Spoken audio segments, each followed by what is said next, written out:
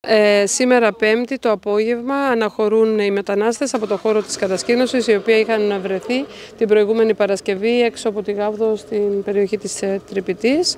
Ε, είναι 33 άνθρωποι οι οποίοι είναι πολύ καλά στην υγεία τους, ε, είναι Σύριοι στην καταγωγή και από εκεί και πέρα έχει αναλάβει το λιμενικό και το Υπουργείο Μεταναστευτικής Πολιτικής και Ασύλου για την τύχη αυτών των ανθρώπων. Θα προωθηθούν, θα πάνε στην Αθήνα μετά Θα πάνε στη Μαλακάσα, όχι, δεν γνωρίζω. Καταλαβαίνετε ότι και όπως ξέρετε μάλλον, έξι μήνες έχουν άδεια παραμονής. Από εκεί και πέρα κανονίζει το Υπουργείο για τα υπόλοιπα. Παίρνουν ούτως ή άλλως το εξάμεινο αυτό, την άδεια την εξάμεινη και μετά από εκεί και πέρα θα πρέπει κανονικά είτε να επαναπρόθεθούν ε, ή να φύγουν με κάποιο τρόπο. Οι εγκαταστάσεις του, οι εγκαταστάσεις του, του Καλαθά πρέπει καταρχάς να διευκρινίσω ότι δεν ανήκουν στο Δήμο Χανίων. Είναι, ανήκουν στο Υπουργείο Εργασίας. Κάθε φορά πρέπει να πάρουμε άδεια.